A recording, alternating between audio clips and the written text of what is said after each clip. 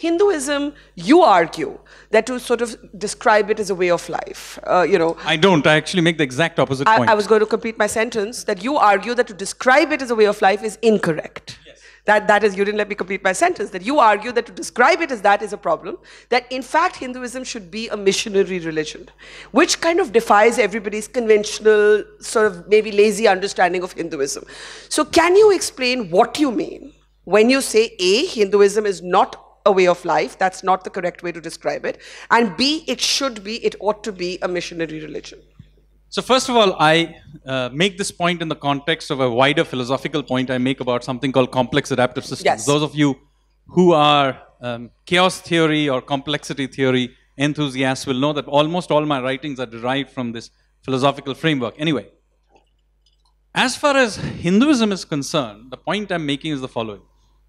That, look, when you say Hinduism is a way of life, basically you're left no wiser than you were, it's, it's a cop out. Basically, it's difficult to describe in the conventional idea framework of what a religion is, and therefore we'll describe it as something that actually basically means nothing. Now, the way I would prefer to put it is this. Because we, de we define religion exclusively in terms of some sort of a Abrahamic framework, therefore we tend to use, say, belief, faith and religion in the same breath. Now, Hinduism is not a belief or faith, true, but it is a religion. It is a religion in that it is interested in what religions are usually interested in, which is ethics, uh, our place in the world, um, tradition, celebration, and all kinds of identity, identity, and all kinds of things which all other religions also uh, do, including Marxism.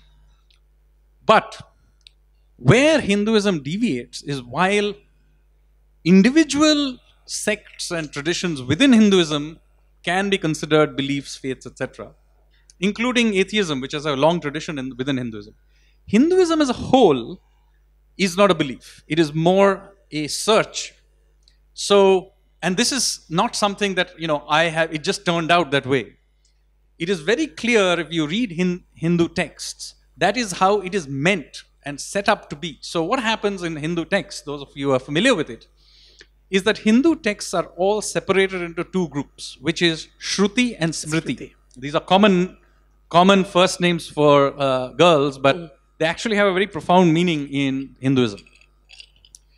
99% of Hindu texts are Smriti, which means they are tradition, they they're human created, the thoughts of they're, they're the records of great thoughts. And they can be changed. And they can be changed. They're not canonical at all.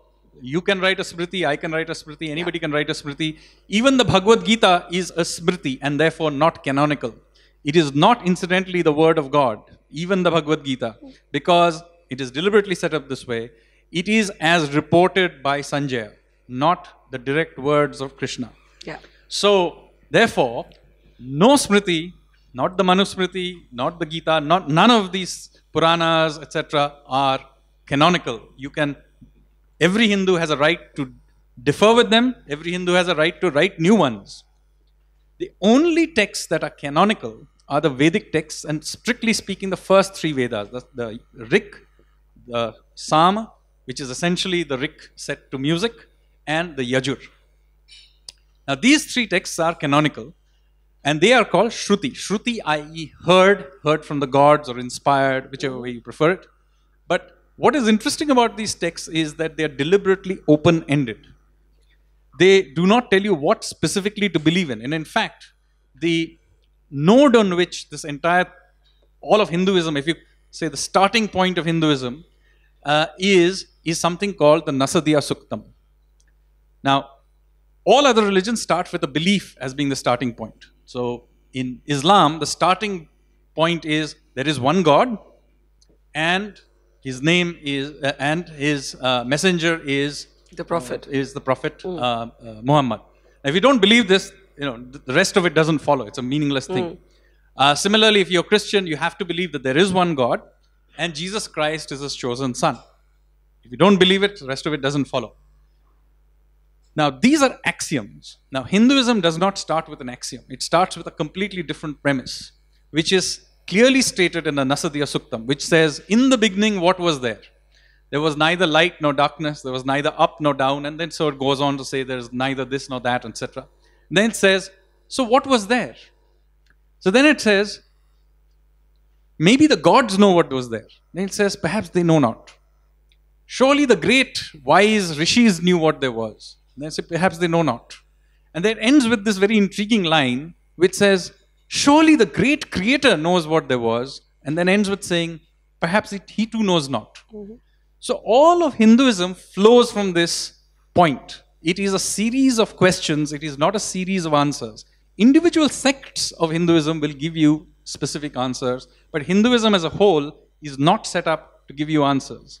And in fact, the very last shlok of the Rig Veda basically says there is space around the sacrificial fire for all the ancient gods, which includes uh, whatever existed then, but all future gods, including the non god of the atheists. But let us come together, speak together, let our thoughts come together. So, what it is, is a, is a deliberately set up framework for pluralism.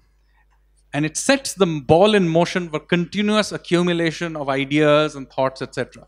So, you can keep writing smritis, you can keep evolving your ideas.